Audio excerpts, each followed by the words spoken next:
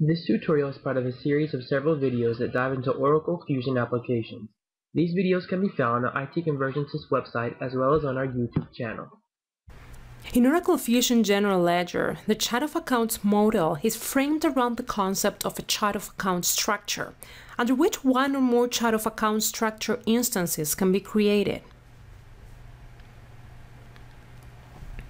A chart of accounts structure defines the key attributes for your chart of accounts, such as the number of segments, the segment sequences, segment labels. For example, natural account and primary balancing and default value sets.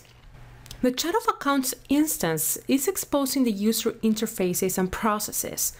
By default, the chart of accounts instance inherits all the attributes of the chart of accounts structure, meaning that all instances of the same structure share a common shape and have the same segments in the same order. In this example, I will be creating a chart of accounts structure. First, I will navigate to the Manage Chart of Accounts page and then click on Go to Task.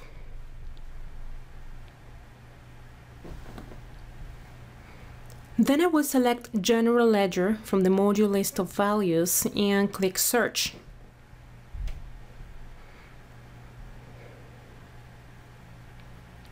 Now I will click Manage Structures button to open the Manage Key FlexField Structures page.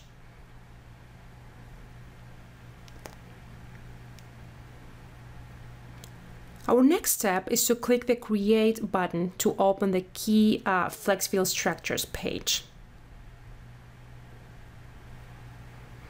Now we'll enter a unique structure code, which will be ITC Fusion COA structure, and name. In this example, I will also provide an optional description, which will be Fusion Chart of Account Structure.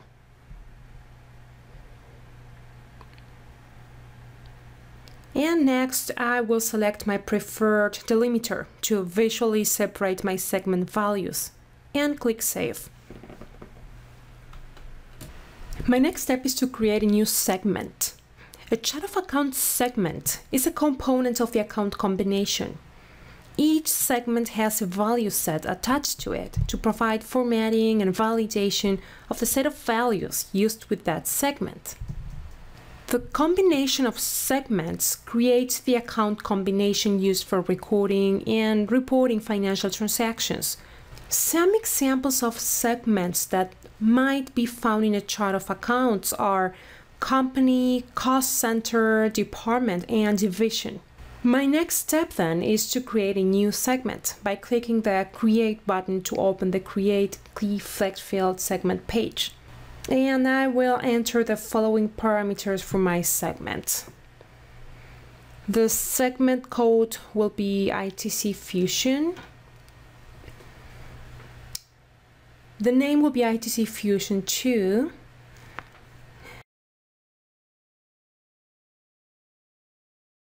And the sequence number, which is the display order for the segments, will be 1. Let's type company as prompt. And the short prompt will be CO. Let's enter display width of 3. And the name of the column will be segment 1. Default value set code. Here I will search for the value set that we have created in our previous tutorial, which was ITC Fusion. To indicate my segment's purpose within the chart of accounts, I will select the segment label primary balancing segment and add it as selected label.